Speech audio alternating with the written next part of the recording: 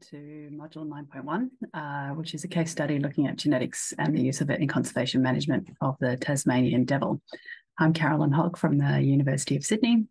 And of course, today I wanted to talk about these cute little critters, the Tasmanian devils, which are now known as the world's largest marsupial carnivore after the extinction of the Tasmanian tiger or thylacine back in 1936 in Hobart Zoo. Now, Tasmanian devils, males uh, range from about seven to 10 kilos and females are about five to eight kilos in size. Uh, their breeding season, like uh, most, a lot of marsupials, is quite seasonal. It runs generally from February to March, but can extend out all the way to June and July. They mate for up to eight days uh, and have a very short pregnancy of about 18 days. And although they can produce up to 30 embryos at a time, they have only got four nipples in the pouch. And so they only end up with four pouch young. And juvenile dispersal tends to occur uh, between December and January every year. Uh, and they tend to live up for a period of up to five years in, in non diseased areas. So, Tasmanian devils actually went extinct on the Australian mainland about 3,000 years ago and now are solely restricted to the island state of Tasmania. And they've been through a number of unexplained population crashes over the past 20,000 years, which has led them to have very low inherent genetic diversity, and they're now listed as endangered.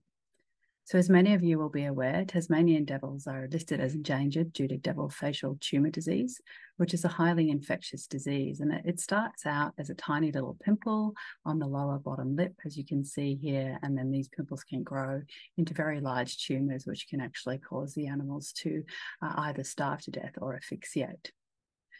Now, devil facial tumour disease uh, first emerged in 1996 up in the north uh, east of Tasmania at wukalina um, Mount William National Park, and then spread very slowly uh, south and westwards across the state, leaving local declines of up to about 95% and about 80% population decline across uh, the entire state of Tasmania as it is.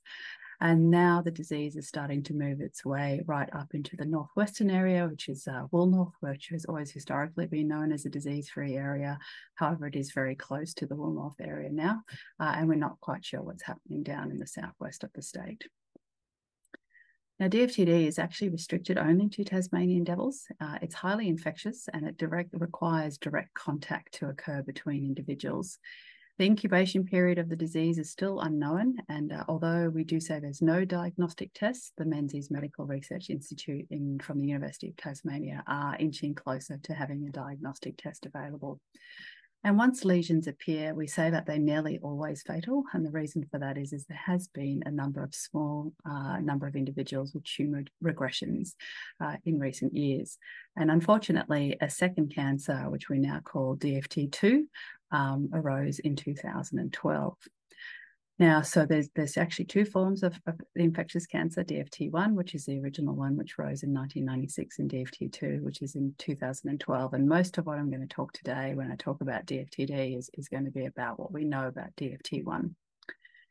Both of uh, DFT1 and DFT2, however, are clonal uh, cell lines. And this is work that was done by Janine Deakin and Kathy Belov back in the late uh, 2000s, where they looked at uh, the normal devil chromosome assembly. And when you look at DFT1 strain, you can see that the chromosomes have basically reshattered and reformed into a number of mutated chromosomes, and other bits and pieces have shifted uh, in the chromosomal uh, rearrangements inside the cancer itself. Now, the tumour is clonal, as I said, and we do know it arose from a Schwann cell in a female devil. And we know that because it does, in fact, have an X chromosome. And we know that DFT2 arose from a male devil because it has a Y chromosome. And what Liz Murchison at Cambridge University has now shown is that one female devil, we believe, bit about five or six other individuals and transmitted the disease uh, between one individual to, to, another. And that's literally how this massive uh, epidemic commenced.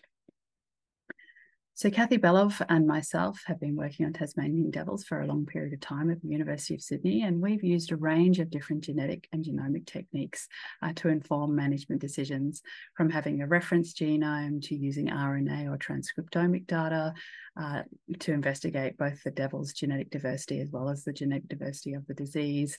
Uh, we've studied the microbiome or the little microbes in the pouch. We've done a GWAS or a genome-wide association studies to understand what's happened with tumor regressions.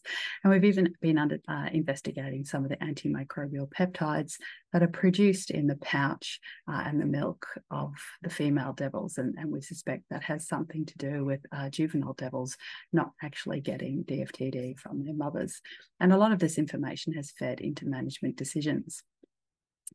Now, Kathy and I started working together when I was still at the Zoo and Aquarium Association. And what we wanted to do was move away from this very traditional conservation research approach, where you had a research idea, got funding, undertook the research. Research may be published, it may be implemented, there may be a management outcome, which may lead to a conservation outcome. And what we wanted to know is if we work together with managers and academics hand in hand, kind of what we want to do with the Threatened Species Initiative, is could we take those management questions and feed them directly into a different series of research ideas because that management funding be used to leverage research funding? And could we uh, have direct consultation between the academic researchers and the on the ground managers uh, throughout the program so we could undertake adaptive management decisions, which would have more direct conservation outcomes in real time while the academics and the students went on to publish their research findings. And this has actually been a highly successful program with Tasmanian devils and really was the first precursor to the Threatened Species Initiative.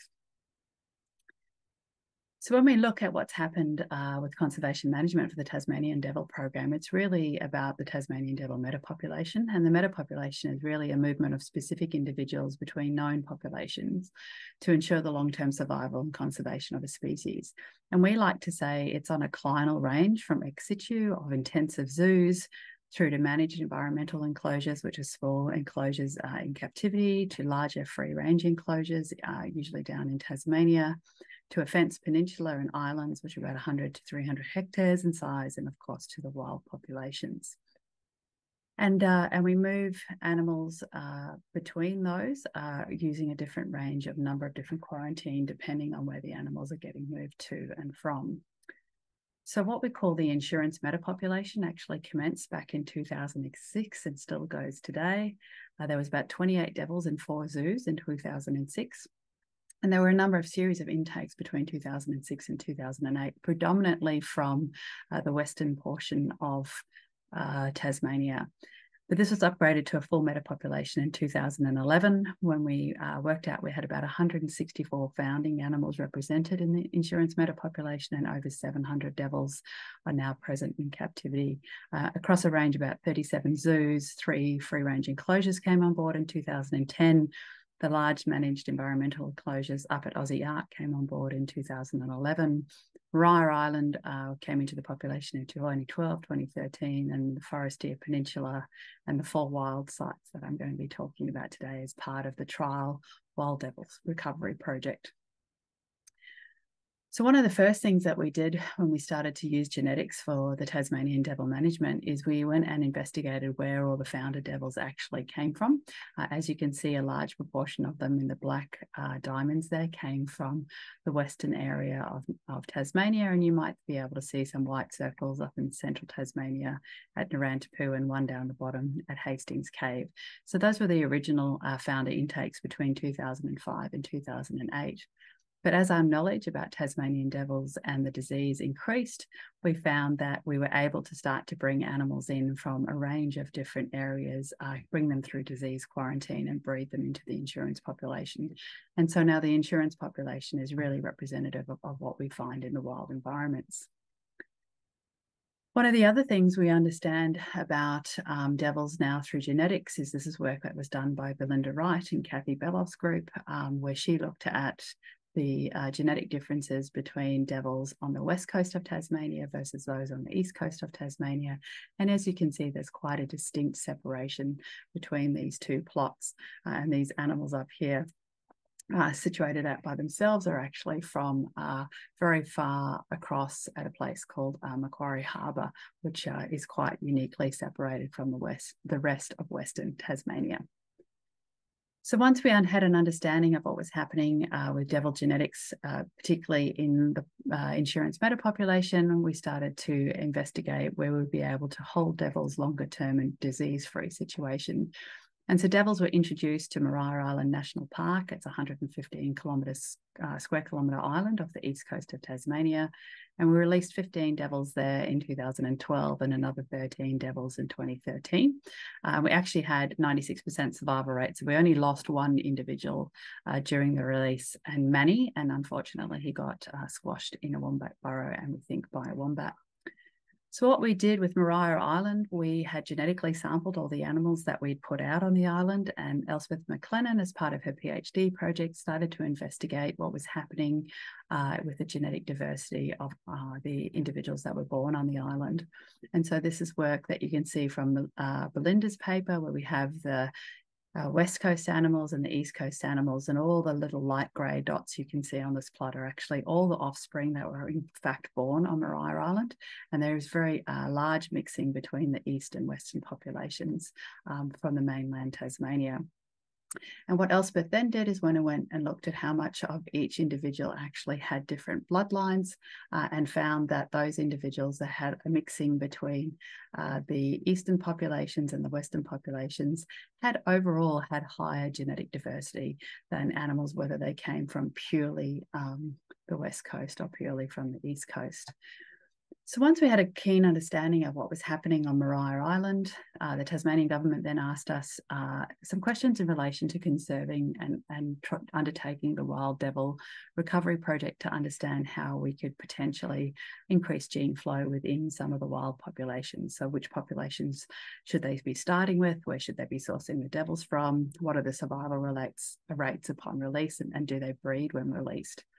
And so we started with uh, a population up here at Stony Head, uh, and we took animals from the source population down here from Maria Island.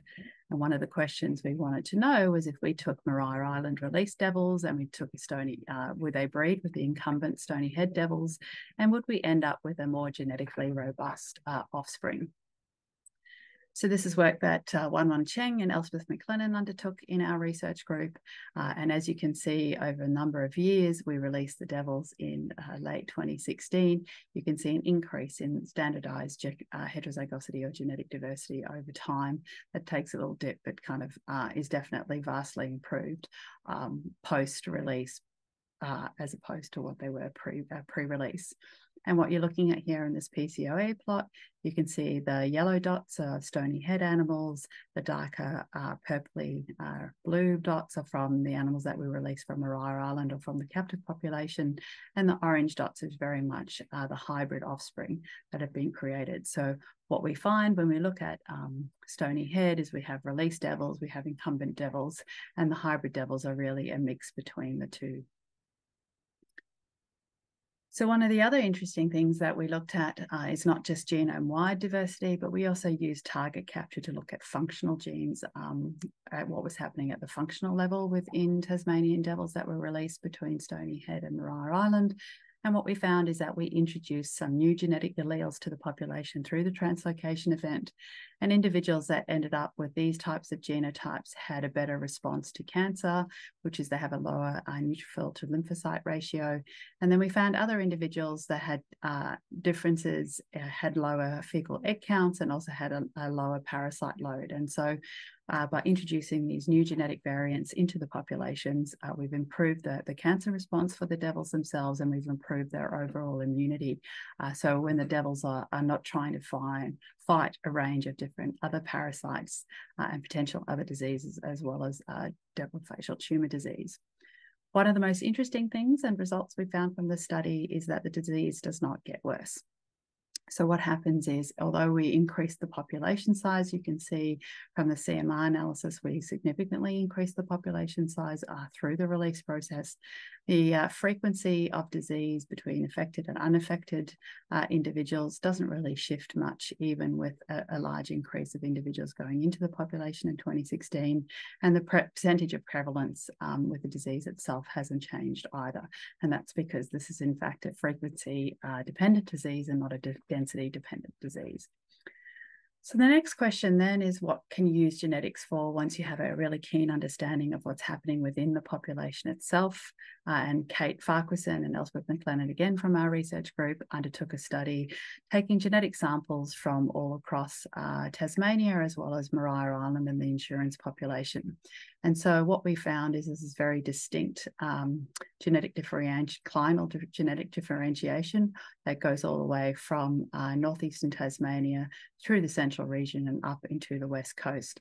And that the southwest animals down here in the bottom uh, south corner are very distinctly different from the other animals. when we look at the insurance pop- metapopulation, we can see that the insurance population is really representative of the wild, um, wild genetic diversity, except for these uh, very extreme areas up here in the northwest, uh, northeast of the state, sorry, where the disease started, and down here in the southwest. What we also showed for the first time is there's actually a lot more fine genetic structuring across the species range than we originally anticipated, and we've been able to separate it into these six genetic clusters. And uh, as you can see, the insurance population in Maria Island truly represent the genetic structuring we see in the wild. So where does this leave us now?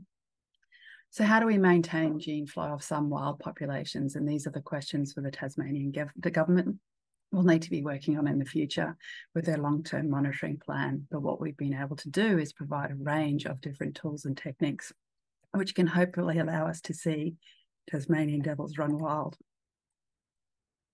permanently in Tasmania.